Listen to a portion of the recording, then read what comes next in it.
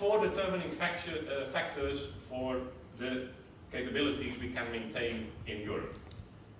And the first and foremost factor, of course, has been mentioned now many times this morning already, is money. But I would say rather the lack of money. Um, first, if you look what has happened the last few years, tremendous defense cuts in Europe, starting around 2010, in the range of 5 to 8% in the bigger countries like United Kingdom, France, Germany, 10 to 20% in medium-sized smaller countries including the Netherlands.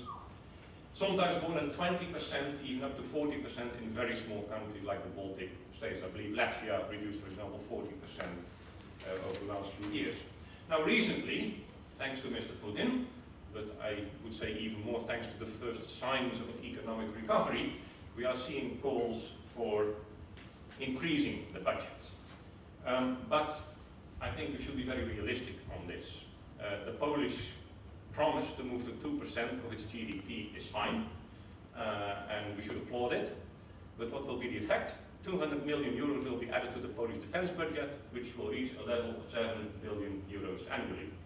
That is the defense budget of a country with 40 million inhabitants, and is comparable to the defense budget of the Netherlands. So nominally, this does not mean an enormous volume of money. The three Baltic states will probably also improve their defense spending. The, the three together do not spend more than 800 million euros a year. 800 million euros a year. So this is, even in Eastern Europe, relatively small money, although it should be applauded, of course. And if you go further south in Eastern Europe, if you look to the Czech Republic, Slovakia, Hungary, they will not uh, really increase their budgets only, only marginally.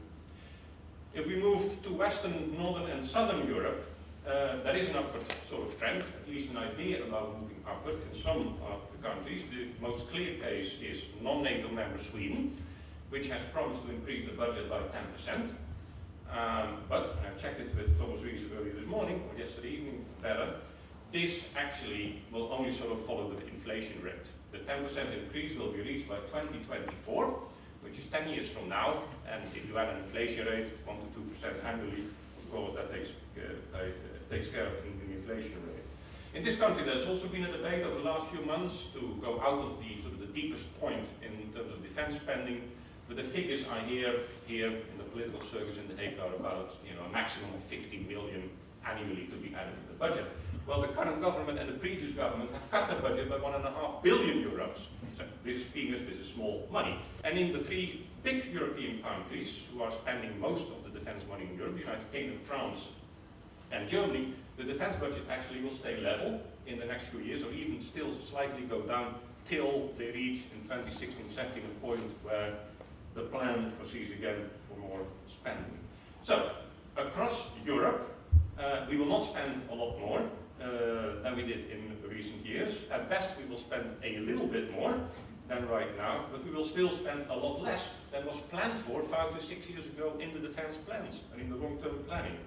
So the trend, in other words, with small adjustments, will continue, and European countries will have less capabilities, or can even lose more capabilities than they have already lost. I refer to the maritime patrol aircraft, the UK no longer is flying. I refer to the tanks the Dutch army is no longer using.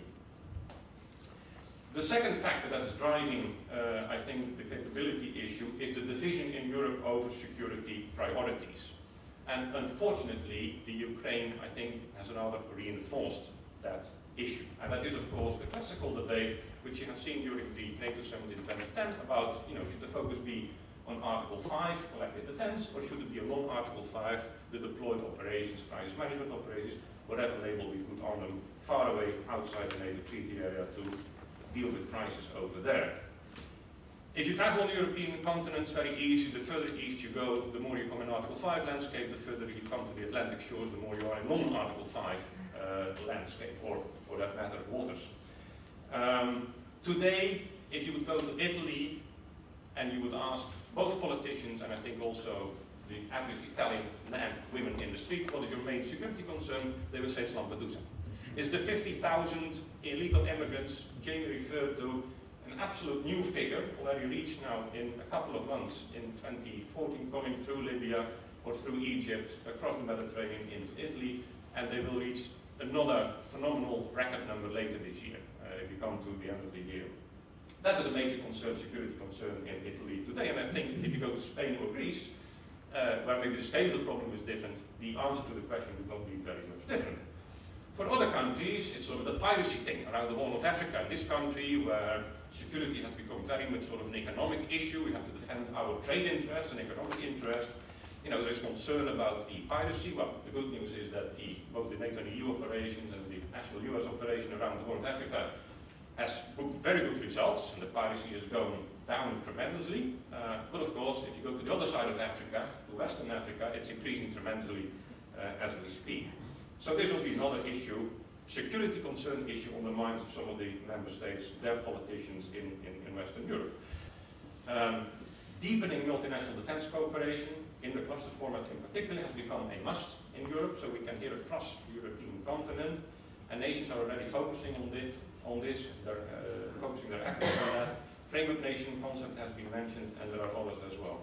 So, why do we not look at reality and adjust the theory instead of maintaining theoretical security and defense concepts and postures which we cannot afford anymore, which we will not be able to sustain uh, in the future. Thank you. I enjoyed pretty much, and of course, it's very relevant considering current crisis in Eastern Europe, Ukraine, and relations with Russia, and upcoming NATO summit in September.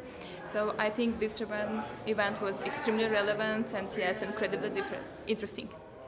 And was there anything in particular that struck you most? Well, I always like to hear different opinions, and today I think we heard like really different points of view supporting more involvement in Ukraine and vice versa, considering more cost-benefit analysis and thinking about cooperation with Russia in other regions except Eastern Europe. So I always appreciate listening to different opinions. That was that I like the most probably.